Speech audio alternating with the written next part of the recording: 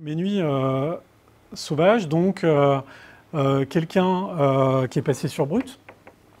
Donc Brut, vous allez me dire, bah ouais, enfin en journalisme contemporain sur Internet, non mais format court, personnalité engageante et intéressante, un petit peu engagée, tout ça.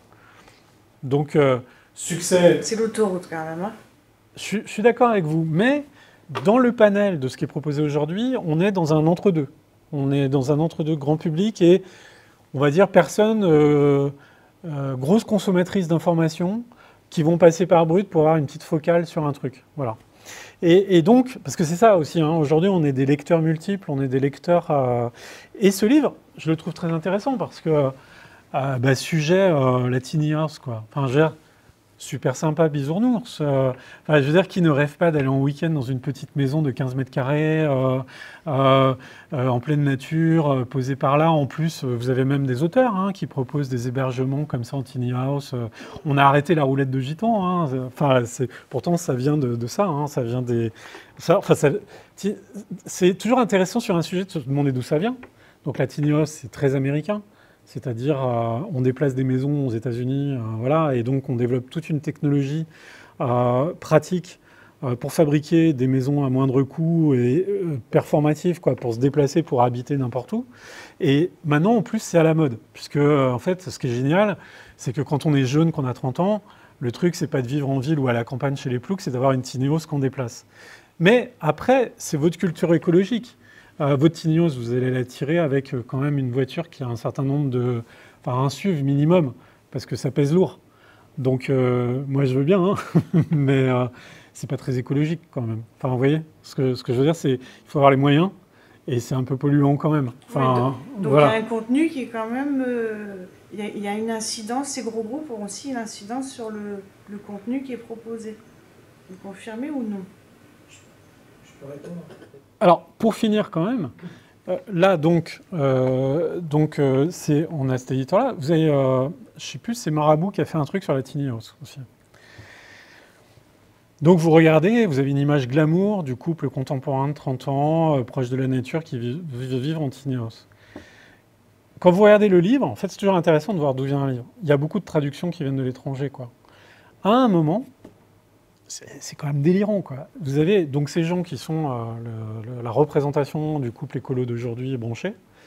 À un moment, vous avez une citation du fondateur de McDonald's qui dit que voilà, ce qui était génial avec McDonald's pour manager un, projet, c'est de se dire qu'au départ, c'est un fast-food qui fait 4 mètres carrés.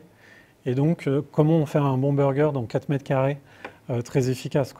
Donc, vous voyez, on va chercher dans une culture managériale et très américaine, un, truc pour illustrer. Quoi. Enfin, je veux dire, ça vaut le coup enfin, de se pencher sur les livres, de regarder d'où ils viennent, de quelles traductions ils sont, parce que euh, moi, j'ai rien contre que les gens vivent dans la nature, dans des petites maisons et tout ça, mais c'est quand même. Est-ce que c'est écologique? Moi, j'en suis pas certain. Mais euh, vous vouliez dire quelque chose euh... recoller à la question euh, de la politique éditoriale de ces grandes maison d'édition, groupe, ou euh, c'est aussi valable pour des petites maisons d'édition, hein. euh, produire sur des sujets euh, qui marchent. Oui. C'est-à-dire qu'aujourd'hui, si vous allez dans une librairie, le rayon permaculture, vous avez 30, 40 titres. Hmm. tout le monde y va parce que parce, y en a un qui est allé et il a vendu, donc tout le monde veut y aller. Ces ouvrages-là, à 95%, vous les ouvrez, vous n'apprendrez rien dedans. C'est-à-dire que on joue sur l'achat d'impulsion, les gens vont acheter en librairie, euh, et euh, pour offrir, euh, ou pour, soi, mais souvent pour offrir. Donc on, a, on accorde assez peu d'importance au contenu. Et l'autre, donc c'est la stratégie d'encombrement que vous évoquiez tout à l'heure. Il faut être présent, il faut occuper l'espace, parce que de toute façon, si j'y vais pas, ce sera d'autres qui y seront. La logique de l'éditeur, c'est de vendre des livres, hein. donc c'est pas, il ne s'adresse pas à vous, il s'adresse aux libraires, c'est là où on vend les centres de, vente. Hein. Ça, c'est la première logique. La deuxième logique, c'est euh, la dimension internationale du livre. Euh, je, vous invite, si vous avez la possibilité un jour, de vous rendre à Francfort à la foire du livre. Mmh. Euh, c'est la plus grande librairie du monde. Et, et, quand on se balade dans les rayons, donc vous avez tous les éditeurs qui sont présents et qui présentent leur production. C'est impressionnant l'homogénéisation de la production internationale. Que vous soyez éditeur américain, anglais, allemand, italien, français, toutes les couvertures se ressemblent, tous les sujets se ressemblent. Euh, la première fois que j'y suis allé, c'était en 2014, c'était la mode des mangalas. Il y avait des mangalas à tous les étages. Et quand on parle de la plus grande librairie du monde, c'est plusieurs dizaines de milliers d'éditeurs qui sont là, qui présentent leur production. Et donc, euh, et ces éditeurs qui viennent sur ces grandes foires du livre international, eux, ils viennent pour vendre des droits ou en acheter. Ouais, c'est ça. Et moi, on parlera de mes livres cet après-midi, mais euh, plus un livre est succinct, avec un contenu facile, pas trop de texte, plus il est facile à vendre en termes de droits pour une traduction.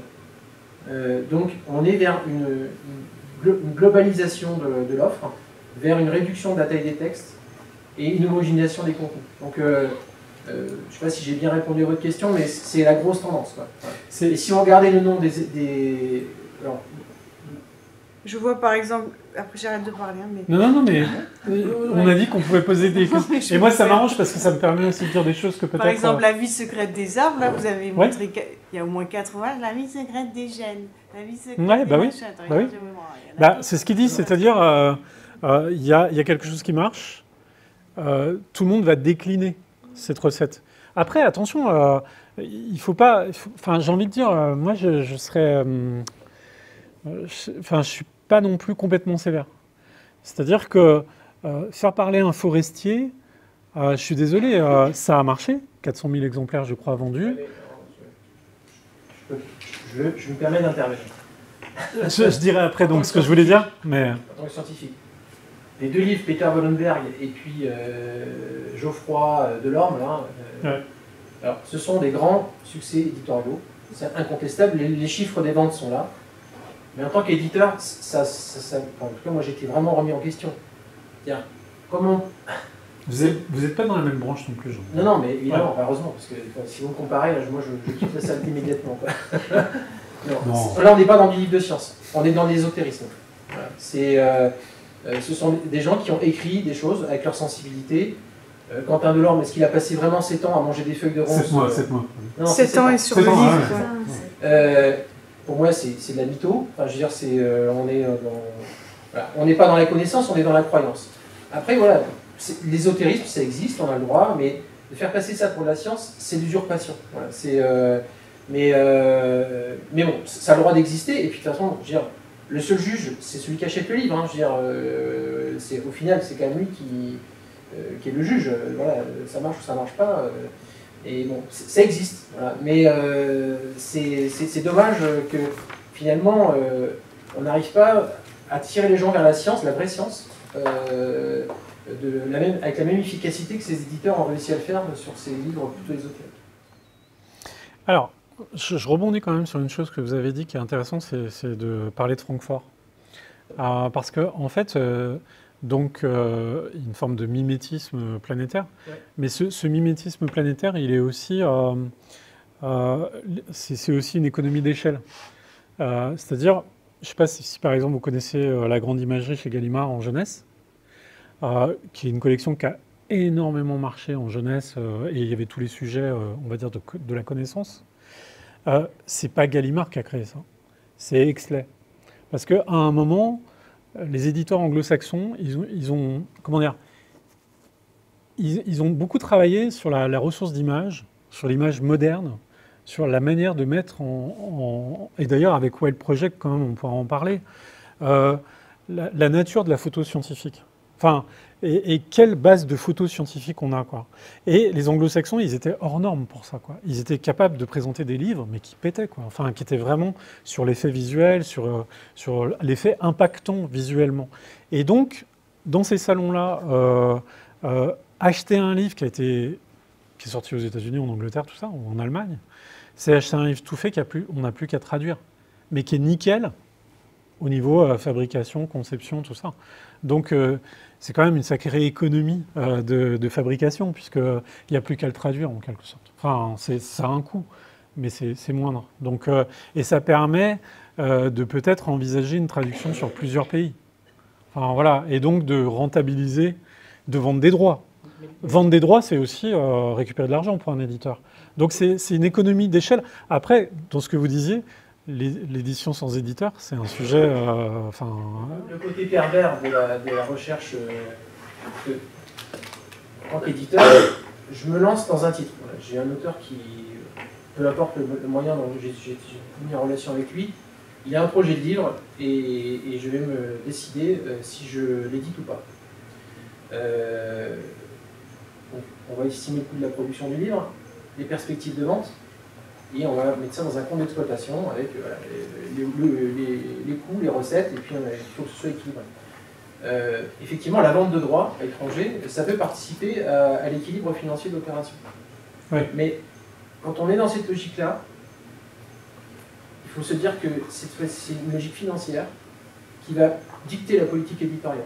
C'est-à-dire que euh, la perspective de vendre les droits, ça veut dire qu'on va demander à l'auteur de réduire les textes parce que le coût de la traduction va limiter les perspectives de traduction. Et, ça, c'est une, une réalité internationale. donc, euh, on est vers une économie de, euh, du contenu. Euh, donc, s'il y a trop de texte, eh ben, le, coût de la traduction, c'est 13 centimes du mot. Hein. Donc, s'il y a 100 000 mots, ben, on sait instantanément le coût de la traduction.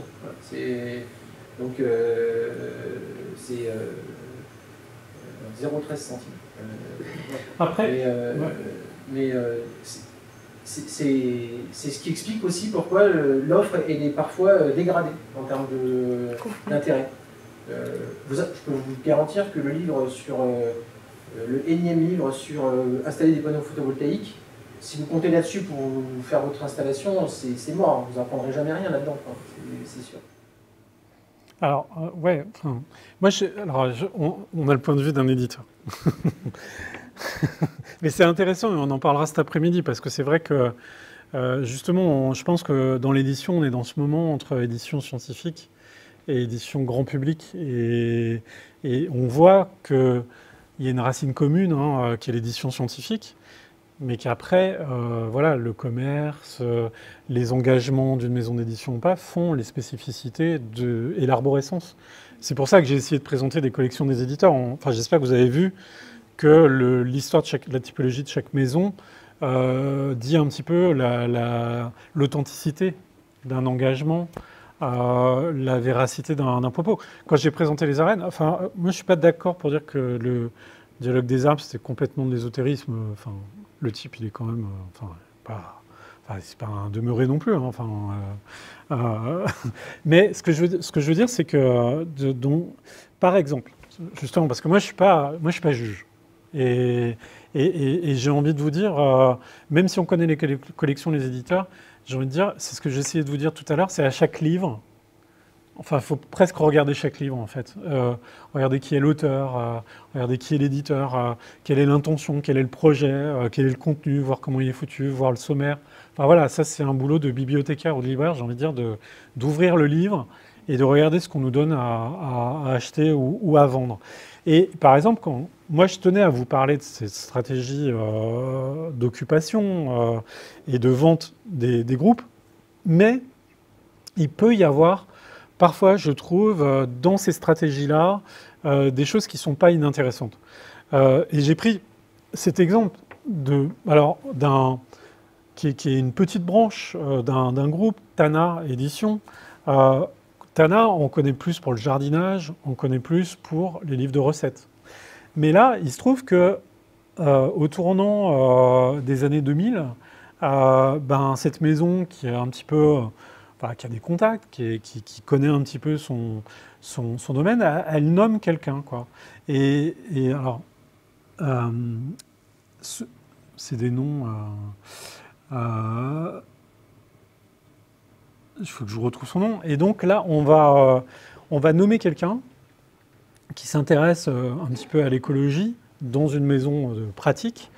Et alors, les gens, c'est une histoire, c'est un, une personne, c'est vaste, même si elle travaille dans un groupe, euh, ça reste une personne. Et, je pense que l'édition a à voir aussi avec des personnalités. Euh, euh, un directeur de collection, un éditeur, c'est une personnalité, c'est quelqu'un qui, sur la rencontre. Et par exemple, Tana, alors, on pourrait dire tout de suite, bon, éditeur pratique qui publie des livres écologiques, non. Parce que voilà, c'est pas sérieux, tout ça.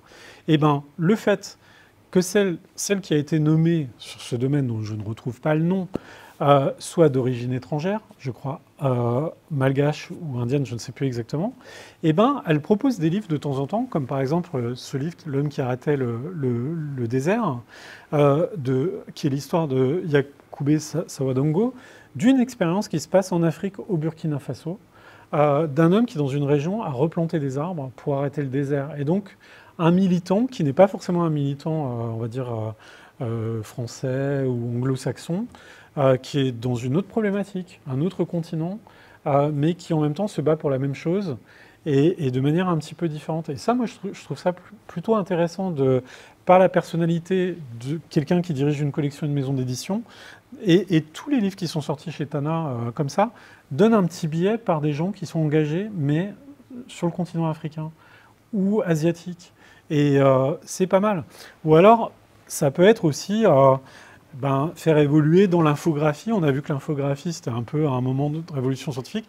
C'est euh, fake or not, quoi. C'est-à-dire, euh, dans, tout ce qu'on nous dit comme euh, révolution écologique, qu'est-ce qui est vrai ou faux Qu'est-ce qui est un fake ou pas Après, ça peut être des petits sujets à la mode et des manifestes pour la nuit noire. Il y en a plusieurs. Il y en a un chez Noir sur Blanc. il n'y en a pas chez les éditeurs scientifiques, étonnamment.